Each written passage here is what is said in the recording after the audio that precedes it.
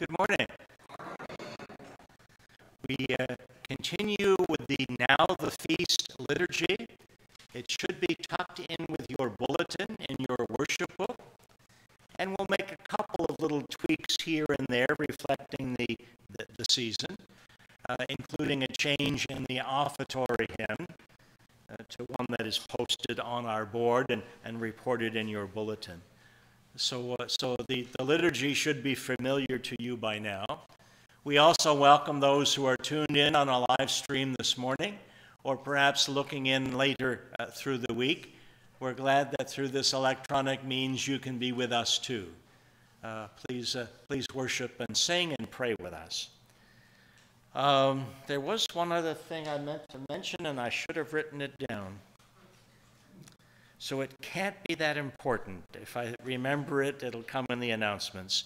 But what about names for prayer? Marie France? Marie, France. Mary France? Mary France. One word, one name, Mary France. Okay.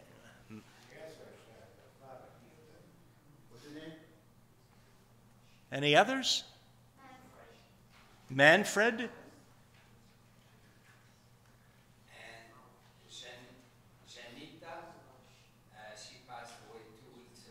okay.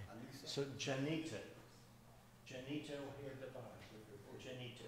Oh, no, no. Mary?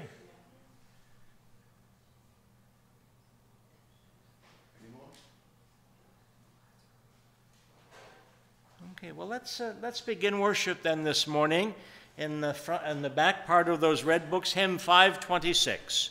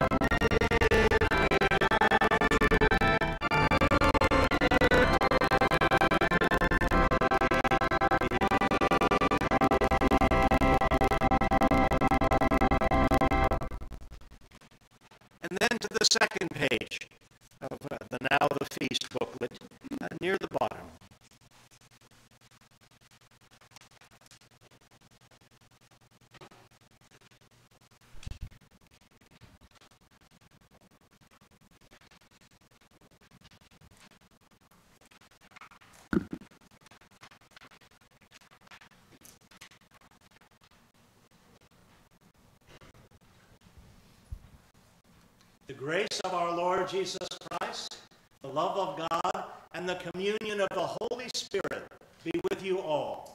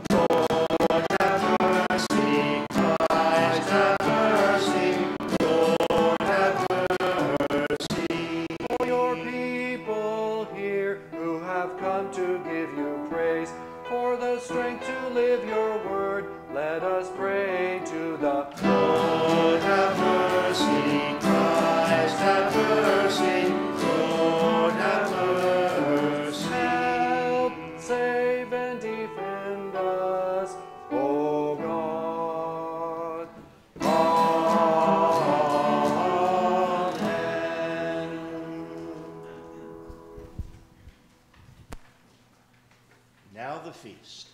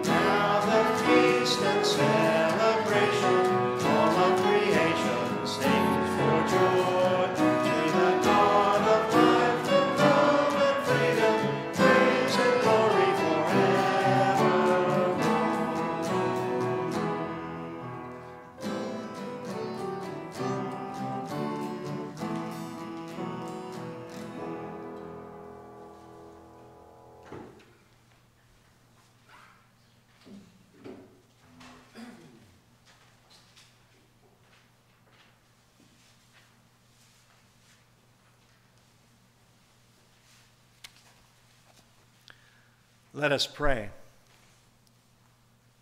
God of compassion, you have opened the way for us and brought us to yourself.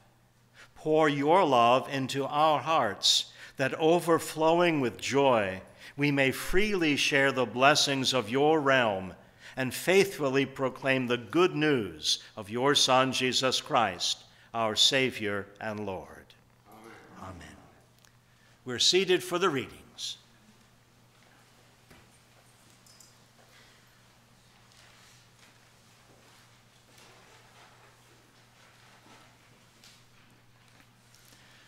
The first reading is from Genesis 18, 1 to 15, and 21, 1 to 7. God, in the form of three messengers, announces to Sarah and Abraham that they will have a child. Sarah, because of her advanced age, laughs at this seeming impossibility. But nothing is impossible for God, and in due course Isaac is born. Now Sarah confesses, everyone will share in her joyous laughter. The Lord appeared to Abraham by the oaks of Mamre as he sat at the entrance of his tent in the heat of the day. He looked up and saw three men standing near him. When he saw them, he ran from the tent entrance to meet them and bowed down to the ground. He said, My Lord, if I find favor with you, do not pass by your servant. Let a little water be brought and wash your feet, and rest yourself under the tree. Let me bring a little bread, that you may refresh yourselves, and after that you may pass on, since you have come to your servant. So they said, Do as you have said. And Abraham hastened into the tent to Sarah and said, Make ready quickly three measures of choice flour, knead it, and make cakes. Abraham ran to the herd and took a calf, tender and good, and gave it to the servant, who hastened to prepare it. Then he took curds and milk and the calf that he had prepared, and set it before them. And he stood by them under the tree while they ate. They said to him, Where is your wife, Sarah? And he said, There in the tent. Then one said, I will surely return to you in due season, and your wife Sarah shall have a son. And Sarah was listening at the tent entrance behind him. Now Abraham and Sarah were old, advanced in age. It had ceased to be with Sarah after the manner of women. So Sarah laughed to herself, saying, After I have grown old and my husband is old, shall I have pleasure? The Lord said to Abraham, Why did Sarah laugh and say, Shall I indeed bear a child now that I am old? Is anything too wonderful for the Lord? At the set time I will return to you in due season, and Sarah shall have a son. But Sarah denied, saying, I did not laugh, for she was afraid. He said, Oh, yes, you did laugh. The Lord dealt with Sarah as he had said, and the Lord did for Sarah as he had promised. Sarah conceived and bore Abraham a son in his old age, at the time of which God had spoken to him. Abraham gave the name Isaac to his son, whom Sarah bore him. And Abraham circumcised his son Isaac when he was eight days old, as God had commanded him. Abraham was a hundred years old when his son Isaac was born to him. Now, Sarah said, God has brought laughter for me. Everyone who hears will laugh with me. And she said, Who would ever have said to Abraham that Sarah would nurse children? Yet I have borne him a son in his old age. Word of God, word of life.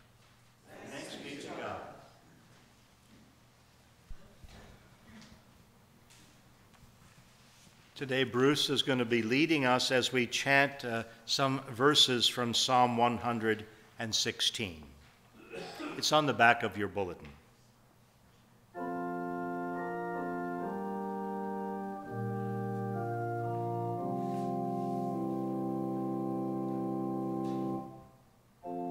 I love the Lord who has heard my voice and listen to my supplication.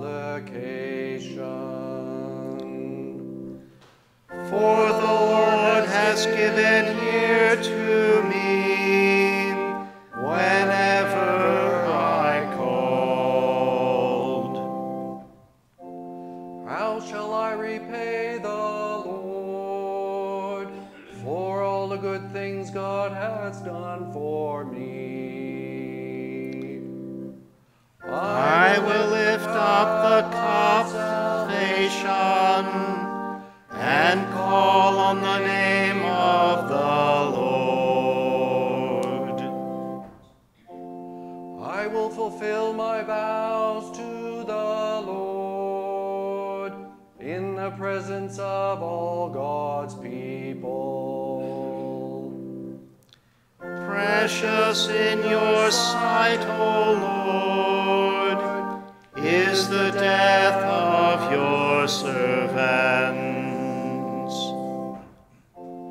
O Lord, truly I am your servant. I am your servant, the child of your handmaid. You have freed me from my bonds. I will offer you the sacrifice of thanksgiving and call upon the name of the Lord. I will fulfill my vows to the Lord in the presence of all God's people. In the courts of the Lord's house, in the midst of you, O Jerusalem, Hallelujah.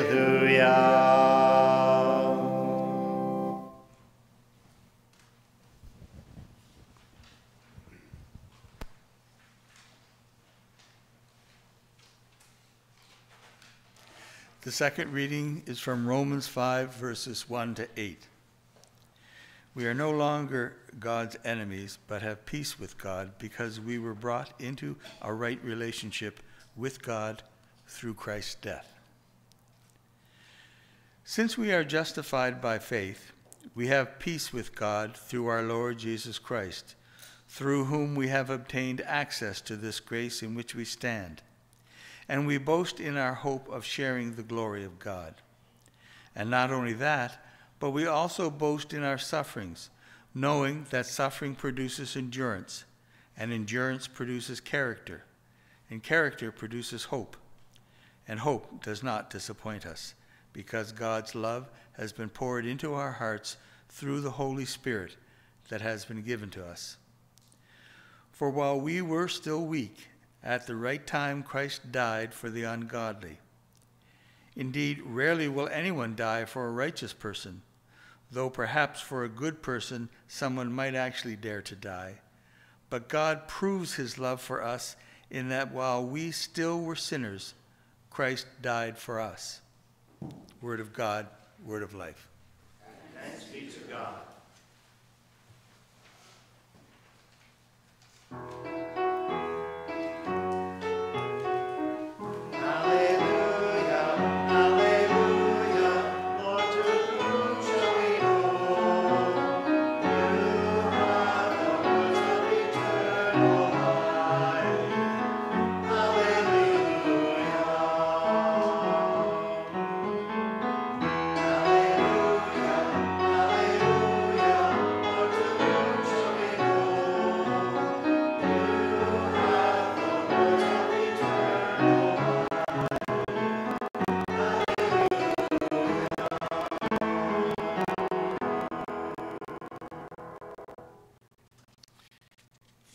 Reading, let me just remind you we sing that verse repeating the words of Peter, the apostle. Uh, as Jesus began to talk about going to Jerusalem to die, and uh, while that message confused the disciples in many ways, Peter realizes there's no other place to go. Uh, there, there's something he still senses in Jesus that is of, of, of central importance. So he says, Lord, to whom shall we go? There's nowhere else to go. There's no other teacher for me to follow. I'll follow you even to Jerusalem, uh, even if I'm not sure why it is you're going there to die. We sing to say this this gospel is the word of life. The Holy Gospel according to Matthew, the ninth and tenth chapters. Jesus went about all the cities and villages, teaching in their synagogues and proclaiming the good news of the kingdom, and curing every disease and every sickness. When he saw the crowds, he had compassion on them because they were harassed and helpless, like sheep without a shepherd. Then he said to his disciples, The harvest is plentiful, but the laborers are few. Therefore, ask the Lord of the harvest to send out laborers into his harvest.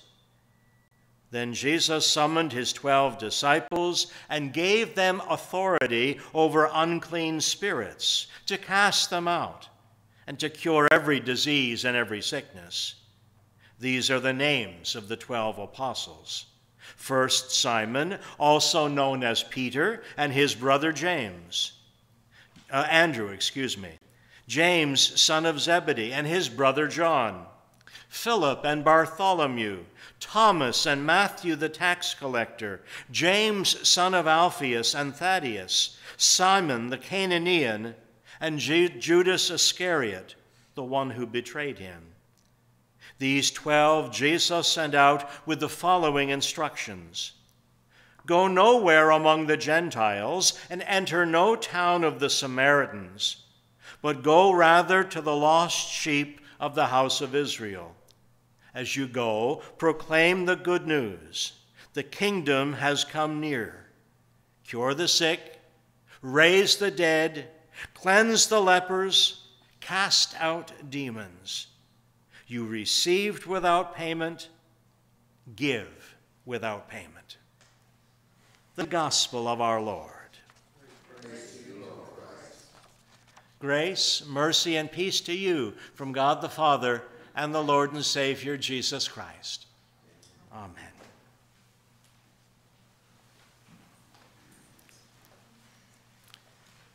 I mentioned last Sunday that the lectionary, the, the three year schedule of Bible readings that we, we use in worship, give preachers too much to work with this summer. Last week, I provided a reintroduction to the Gospel of Matthew as we picked up the story during Jesus' ministry in Galilee, long before the stories of his death and rising that were featured in Easter, at Lent and Easter. And week by week, we'll also be working our way through Paul's letter to the Romans, which provides the most organized summary of the apostles' beliefs. I'll probably get to that in a sermon next Sunday. Today, I'll say a little bit about the series of passages we are reading from the book of Genesis, which emphasize God's unique relationship with Abraham and his descendants.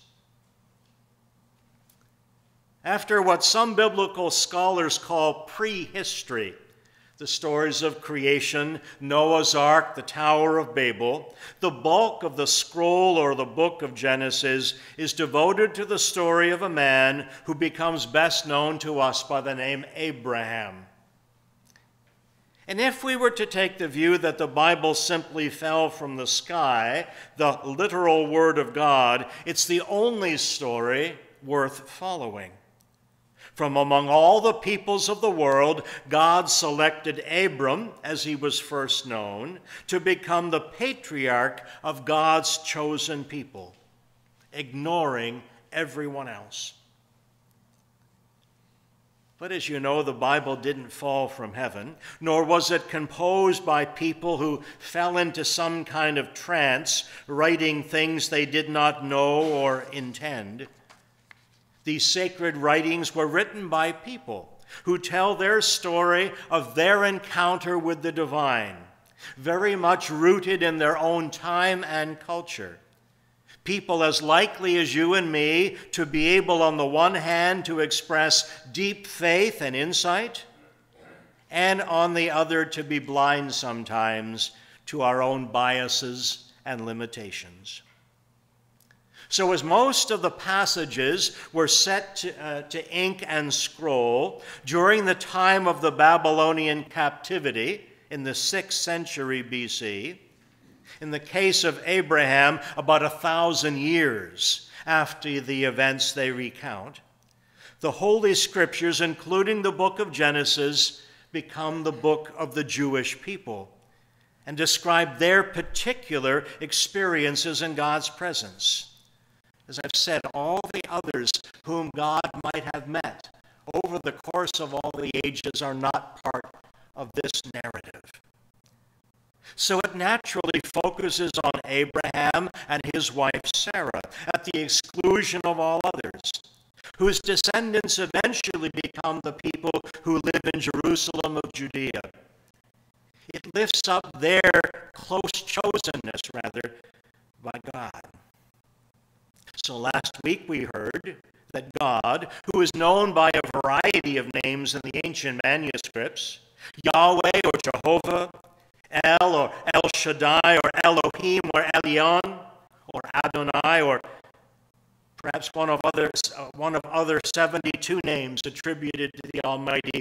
This this God, known by so many names, selects Abram or father almost at random.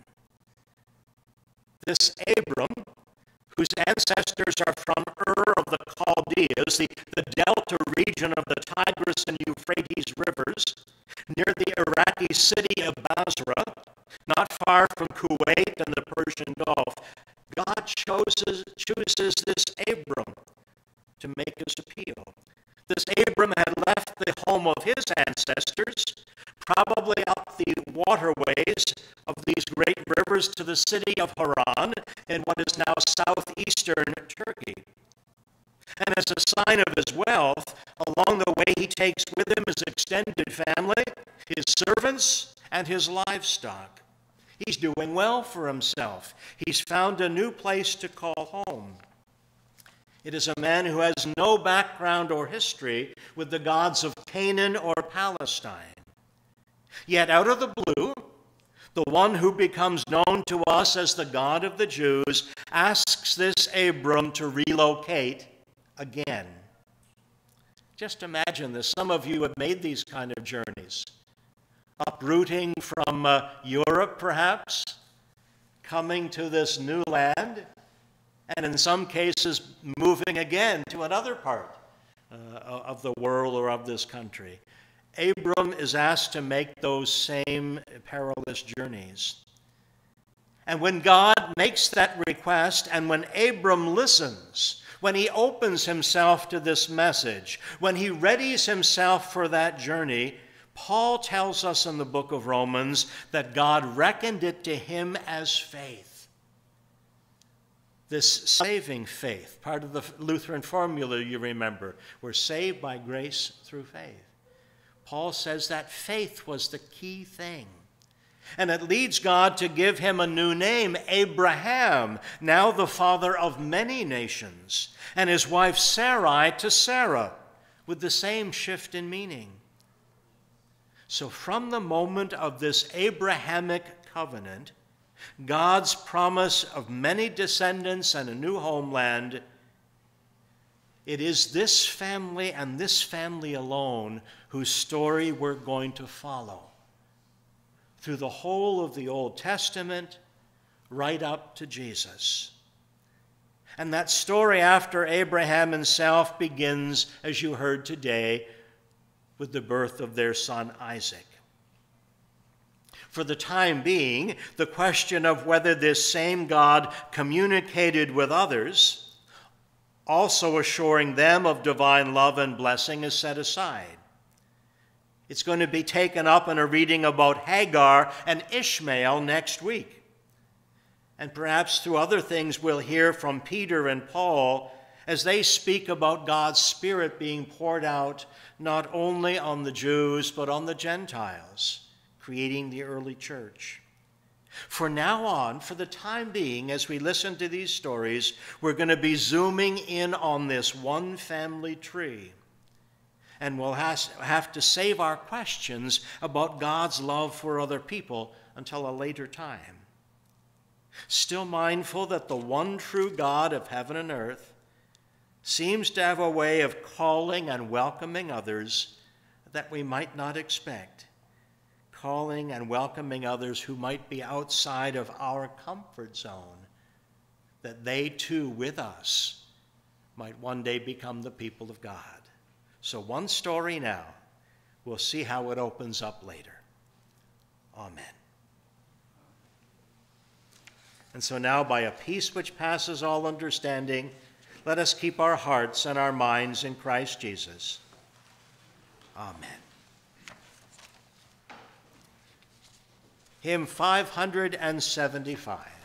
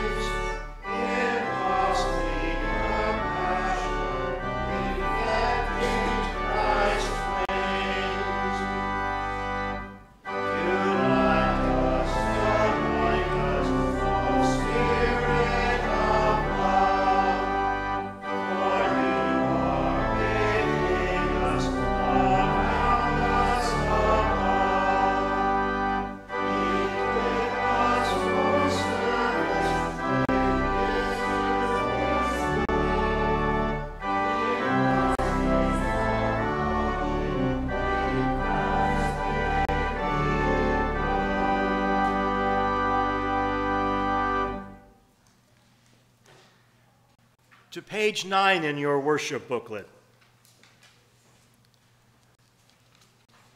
With Christians of every time and place, we say, I believe in God the Father Almighty, creator of heaven and earth.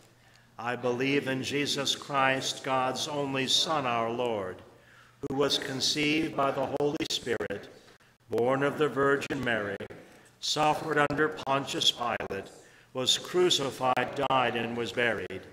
He descended to the dead. On the third day he rose again. He ascended into heaven he is seated at the right hand of the Father, and he will come to judge the living and the dead.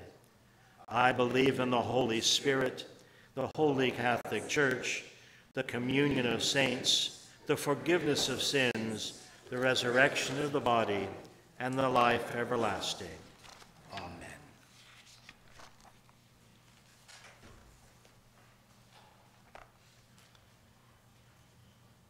Trusting in God's abundant mercy, let us offer our prayers for a world in need.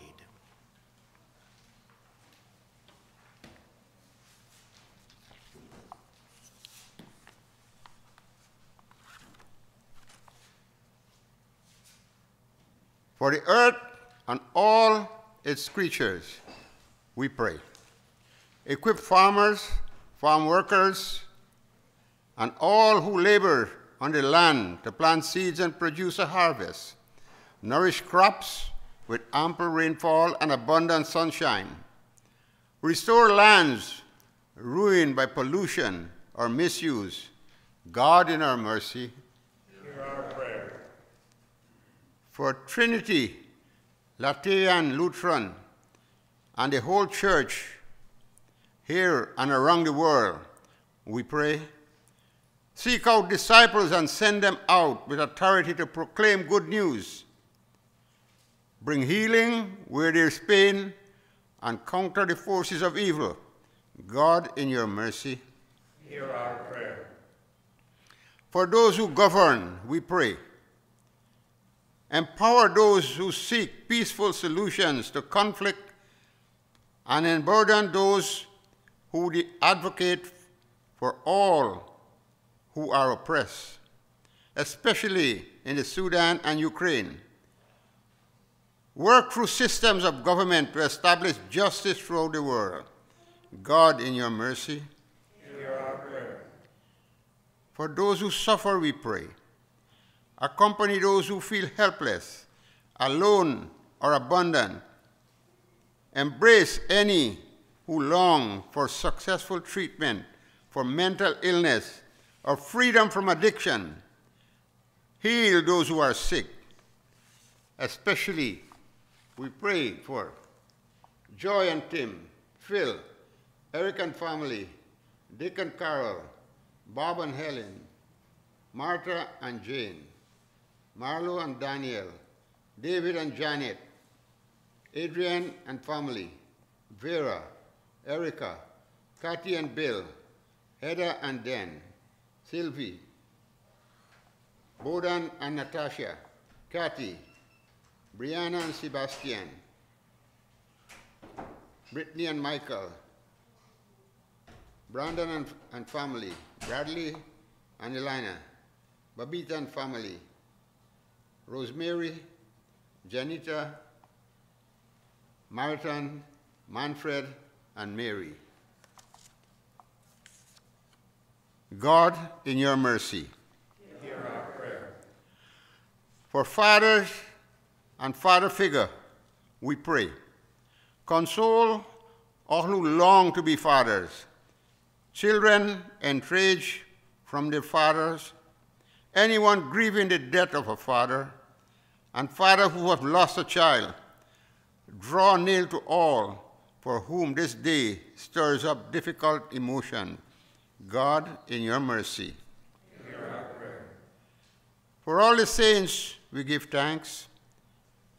Receive unto eternal care all those who have died, especially, you have any names? Rosemary. We have Rosemary and Janita. and fill us with hope that does not disappoint. God, in your mercy, Hear our prayer. receive our prayer and answer us, O God, in the name of Jesus Christ. Amen.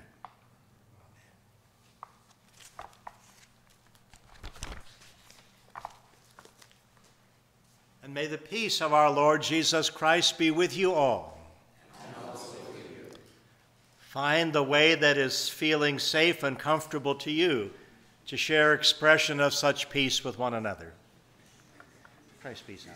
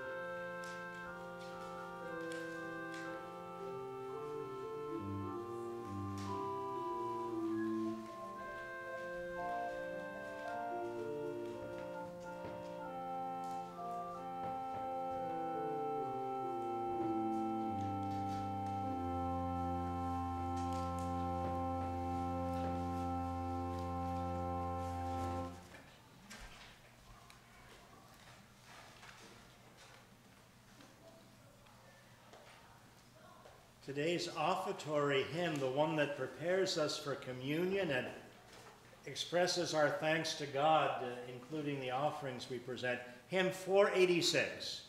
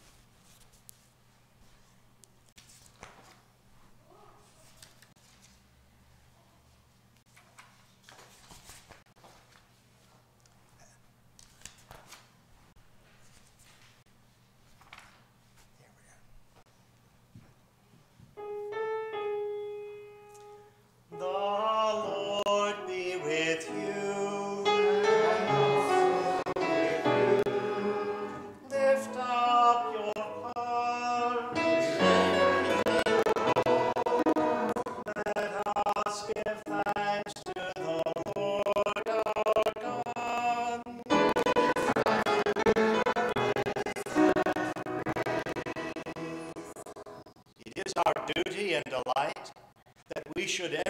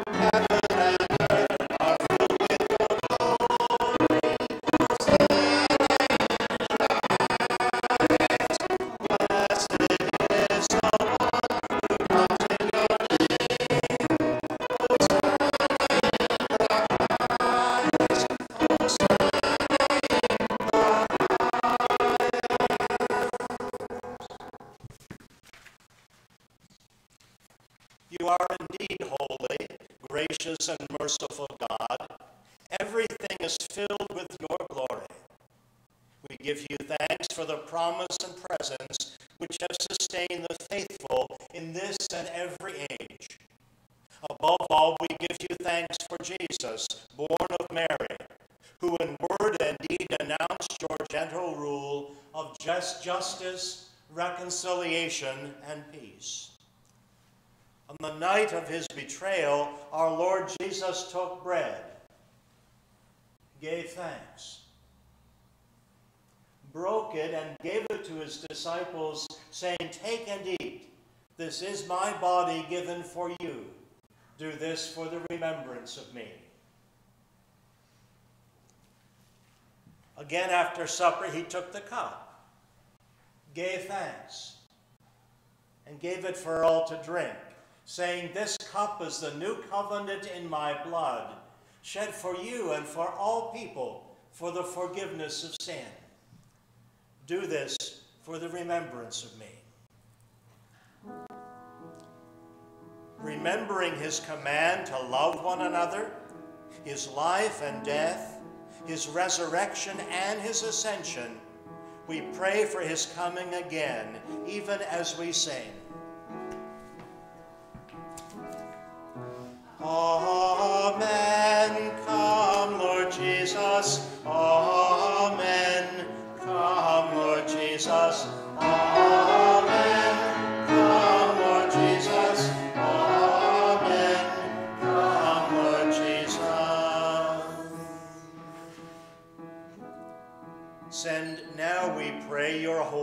Spirit, that all of your promises may come to us and your whole creation. Amen. Come, Holy Spirit.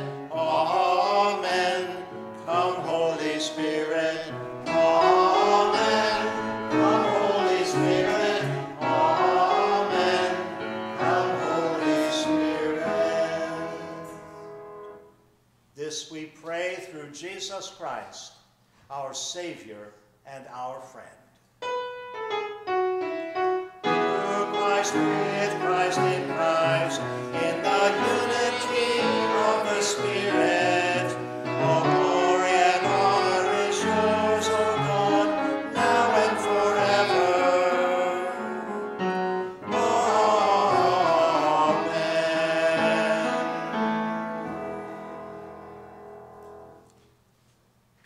Make us bold, O merciful God, to address you as our Abba when we pray. Our Father in heaven, hallowed be thy name. Your kingdom come. Your will be done on earth as in heaven. Give us today our daily bread. Forgive us our sins, as we forgive those who sin against us.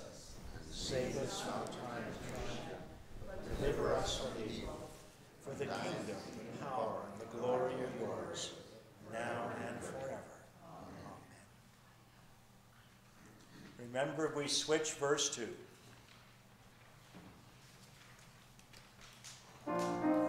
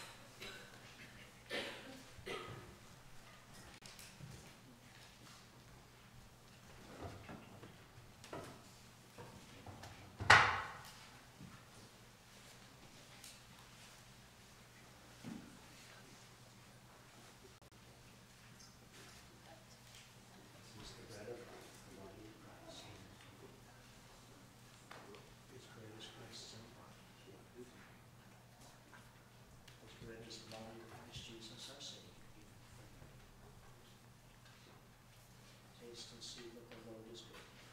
His bread is my body. Our body of the Lord Jesus is made for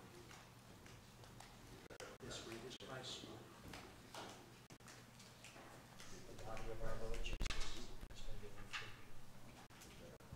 Rejoice in knowing that this bread is Christ's body. This is the bread of life, the body of Christ given Truly, this bread is Christ's own body given for you. By grace, this bread has become the body of our Lord. This bread truly is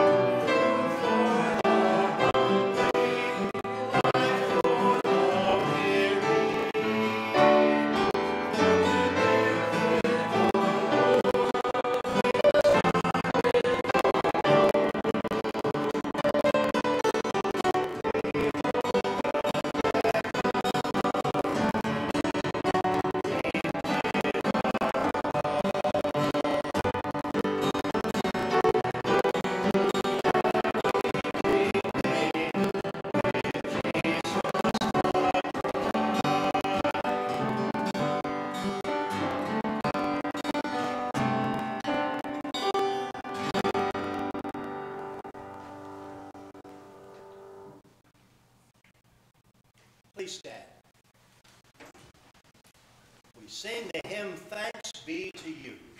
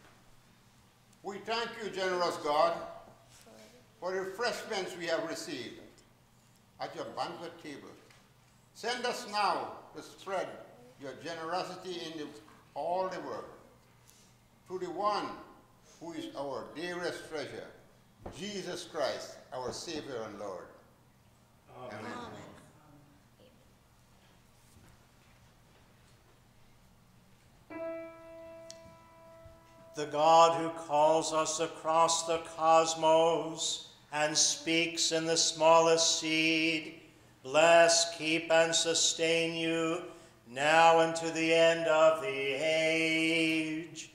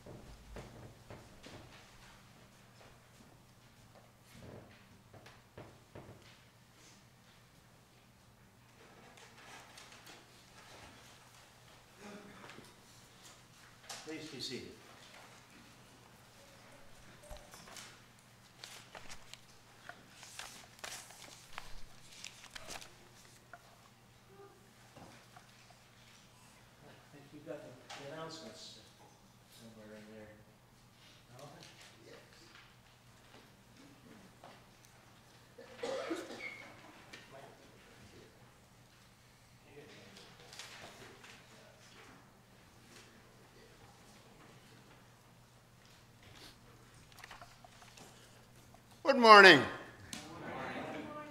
Before I go one step further, I want to thank all the fathers for a happy Father's Day. Who are here and who are not here, we thank them. In June, the Outreach Committee invites you to support the work of Welcome Hall Mission as it cares for some of the most vulnerable people in our city. Join us for coffee and conversation after worship today.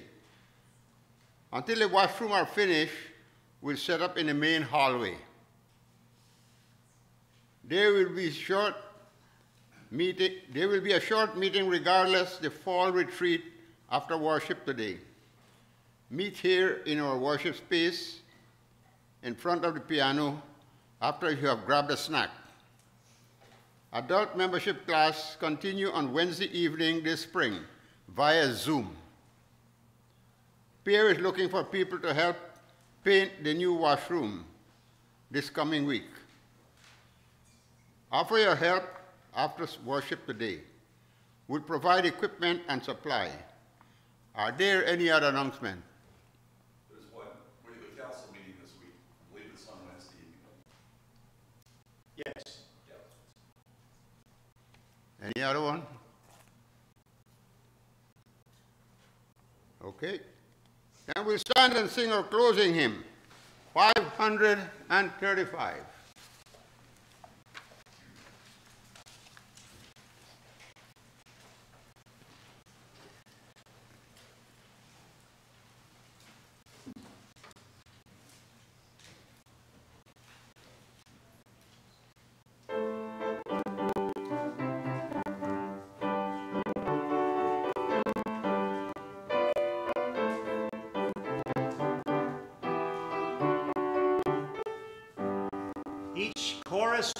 And then each verse twice.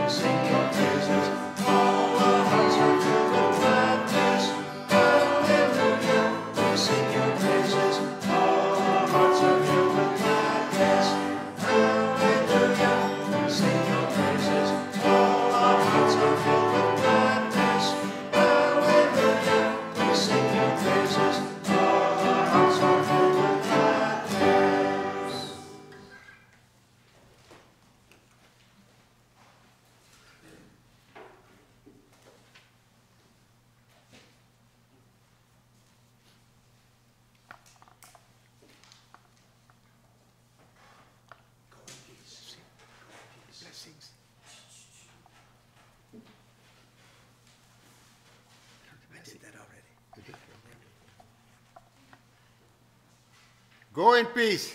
Serve the, share the harvest. Thanks be to God.